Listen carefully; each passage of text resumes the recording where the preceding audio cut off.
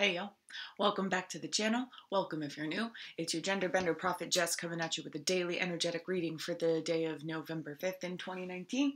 I am using the Fairy Tarot by Doreen Virtue and Radleigh Valentine. And if you would like to support the channel, like, share, subscribe. If you like these videos, you can also look down below in the information box for instructions, descriptions, and pricings for personal services, either a personal card reading or a very psychic Reiki healing session, which is a little more intimate and more direct. And you can join me on Facebook and Instagram. Links will also be down below. And you can also join me on Patreon for a monthly subscription in exchange for personal services at a discounted rate throughout the month. Justice.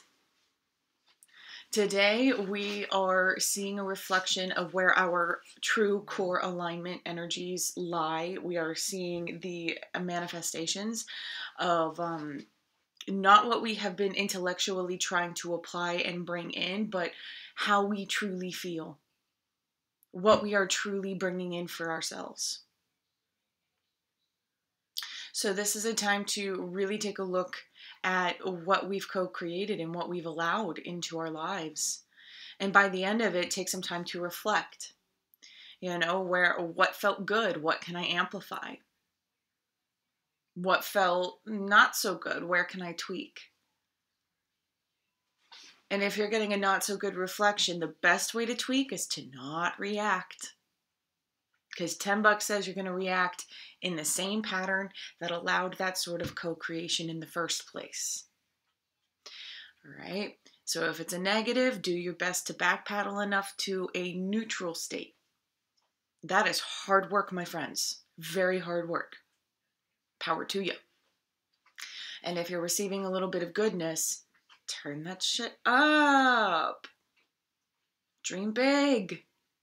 The number eight is the original I am source on top of itself. And I love the number 18 because that wouldn't be able to happen without that masculine force, you know, overlaid on top of each other. I actually want a tattoo of that. like eight with a one down the middle. Mm.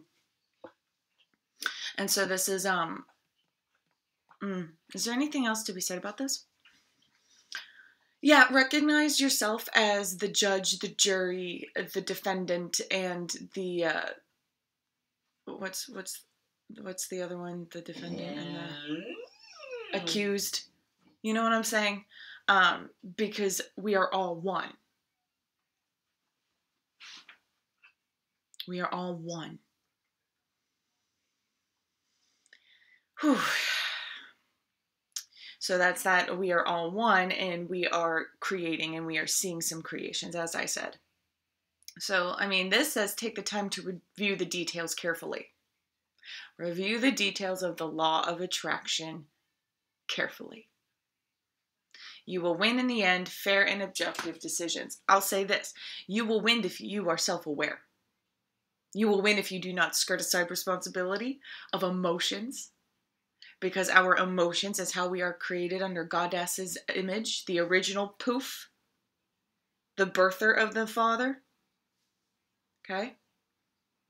We are creative. Our emotions cannot help but create.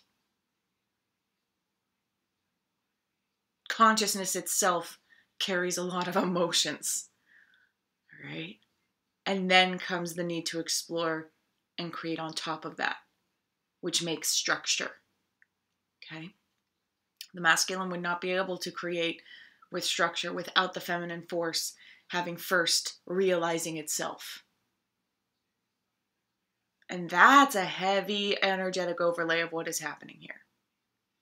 Realization of the self, exploring your emotions, seeing the foundation of said emotions as the the the the, the layout the stage off of which your structure is built. So take a look. There's no escaping the karma today, my friends. Mm-mm. And it's always working in your favor because we are always going forward in a spiral, looping around. And we have the free will, the choice to change direction of where that is pointed, along with the natural chaos of the feminine surrounding that choice. So, what does the divine feminine, the chaos, the co creation, behind the scenes manipulation, have to show you about your choice of direction.